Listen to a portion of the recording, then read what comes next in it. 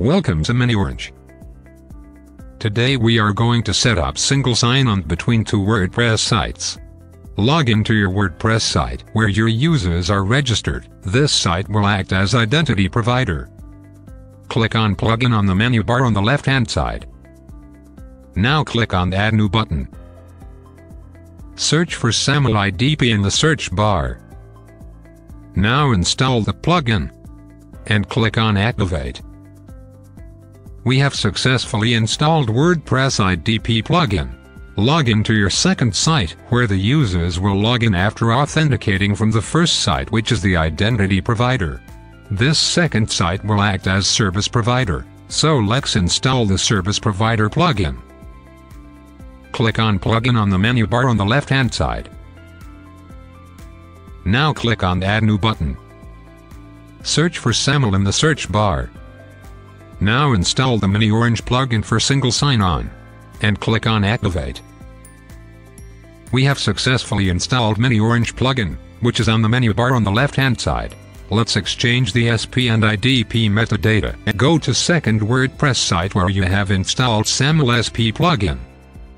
Go to Service Provider Metadata tab and copy the metadata URL. Go to the first WordPress site where you have installed SAML IDP plugin and navigate to the Service Provider tab. Click on Upload SP Metadata. Write WordPress as your service provider name.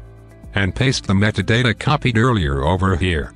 And click on Fetch Metadata. Settings have been saved successfully. Select Name ID format as email address. Enable the assertion sign checkbox and click on Save. Go to IDP Metadata tab.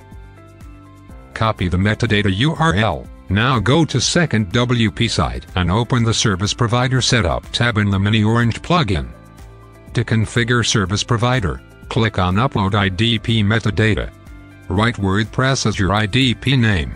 Paste the URL copied earlier, and click on Fetch Metadata. Your identity provider details are saved successfully. Scroll down.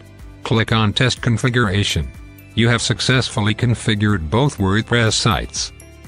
Now let's see how to add a miniOrange login widget for single sign-on. In the second site, where Service Provider plugin is installed, click on Appearance, then Widgets. Select Login with WordPress and click on Add Widget.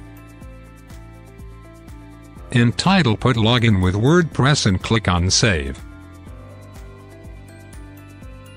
Now let's see how this feature works. Go to your WordPress site homepage and scroll down. You can see the widget we added for single sign-on. Click on Login with WordPress. You will be redirected to your WordPress IDP login page. Log in with your WordPress IDP credentials. Congratulations! You have logged into your WordPress service provider site and have successfully set up the single sign-on between two WordPress sites. Check out our premium version of the plugin in which service provider plugin has features like attribute mapping, role mapping and many more. And identity provider has features like signed and encrypted assertion response and many more. Thank you for watching. For more information, please contact us at samlsupport at xecurify.com.